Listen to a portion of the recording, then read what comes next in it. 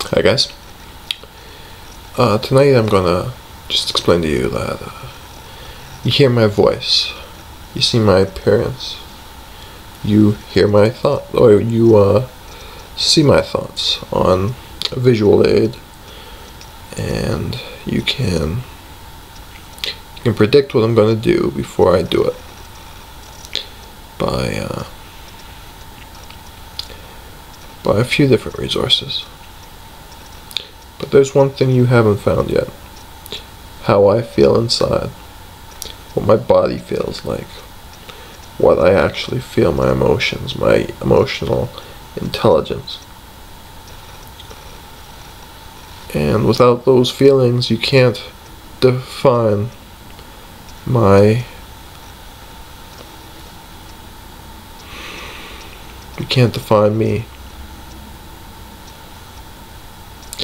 Can't define what I am or how I am. All you can do is make up silly little statements stating what you see yourself as. All these people so define themselves forever because they were too blind to see they were only seeing a reflector. They were reflecting themselves. That's what they do when you comment on someone else. You're reflecting yourself. What you are. That's it. To really understand someone, you have to feel them. You have to feel how they feel. That means you have to know how the warm feeling, the like when you look at the sun on a warm day and it's just bursting out at you like uh, uh, that that tingly feeling sometimes you get when you just want to stand up and, and feel rooted to the ground and feel all the life and all the power behind you. That's something we so often overlook because it's something beyond all the pain someone can give you from all the pain you put on yourself because of things you don't understand. There is this overwhelming feeling, this rite of spring, this warmth hidden inside of you that just wants to let go and that warmth is something I, I can't always show in words, appearance, or in actions. But there is something there, and if you're able to just touch on that, you'd see that it's not necessarily a big thing or a small thing it's heat. It's heat. That's all I am right now. I feel heat. That's what I feel like all the time. That's why I do what I can. Because I feel this heat. And it's the heat inside that really warms when it when it pours down on you. So I just know when when you feel like giving up, you have to go to that deeper place, that warmer place, because you're not alone. You'll never be alone. And that is why I'm here. To show you that we are more.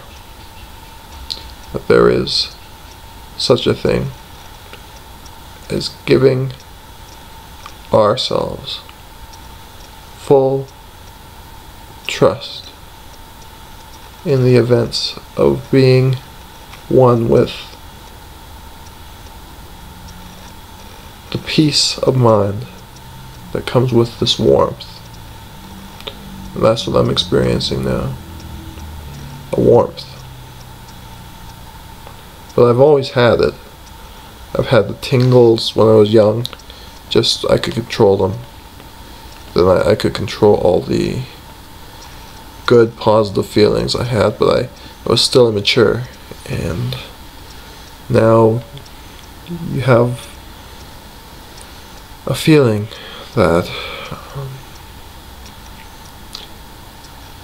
no matter what comes, you're ready to face it. And you're ready to move on to whatever comes next. And that's that warm feeling. I hope you get to experience it someday. Because it's that warm feeling that makes everyone really want to live. So thank you. And bless you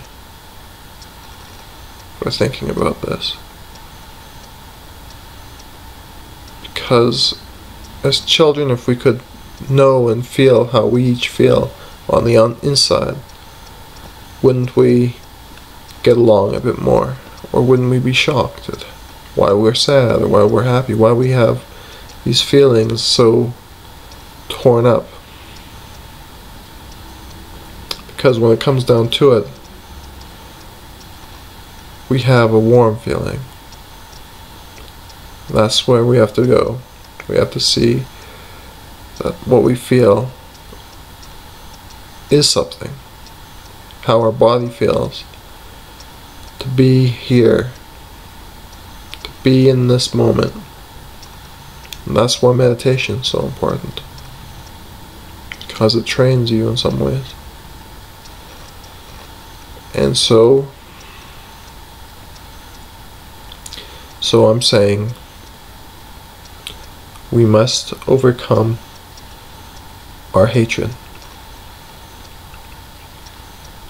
And with that, I'd just like to say thank you. Thank you so much.